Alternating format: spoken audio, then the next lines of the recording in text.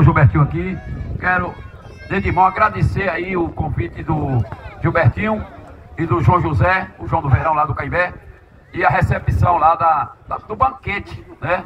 Porém, o Márcio Paredão bota pra torar lá no, no, no banquete, né? Estamos aqui com o Gilbertinho, queremos agradecer ao Gilbertinho e parabenizar pelo evento.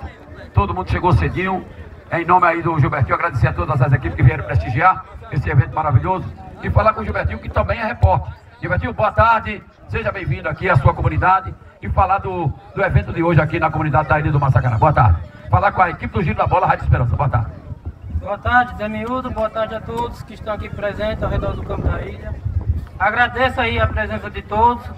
E agradecendo a todas as equipes que compareceram e é isso, agradecer a todos os apoiadores, colaboradores, principalmente nosso amigo João do Feijão, que está contribuindo aí, patrocinando o evento.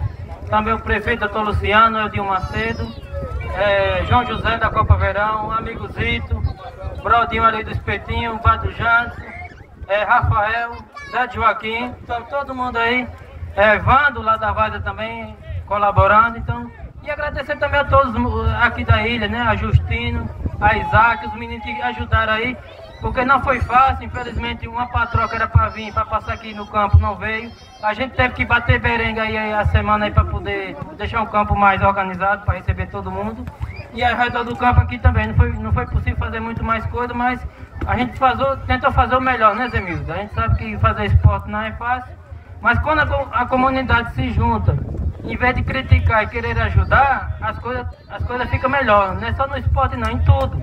A comunidade tem que se unir em prol de, de tudo. Eu não faço esporte não é só para mim. Não é, não é só para Jans, não é só para Jair que tem um bar. Hoje ele não está aberto, mas ele tem um bar dele. Então, todo mundo, se nós se unir, dá certo. Dá para fazer sempre.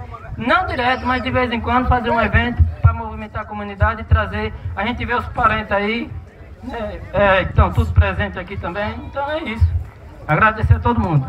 Porém, tá de parabéns, viu, Gilbertinho? Muita gente na beira do campo. Quero agradecer aí a presença de todos que vieram prestigiar a equipe do Giro da Bola.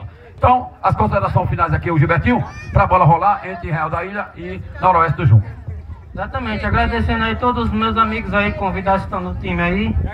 É, e assim, vamos em busca aí da vitória, que seja uma, uma, um bom jogo e que possamos sair de, de campo com a vitória aí, com fé em Deus. Pronto, falamos aí com o organizador do evento, o Gilbertinho, que também é repórter.